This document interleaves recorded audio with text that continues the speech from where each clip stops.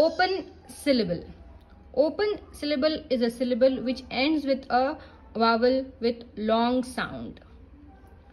Like no. O here is taking a long sound. O, no. Tiger. Tiger is the word which has two syllables, two small sound units. Tiger.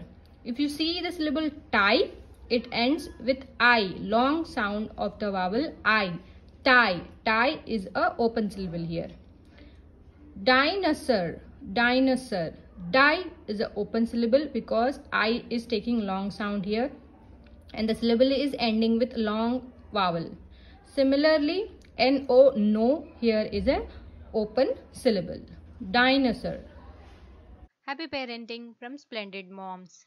Give us a thumbs up if you like the video, subscribe to our channel and hit the bell icon to get the notifications of our latest videos.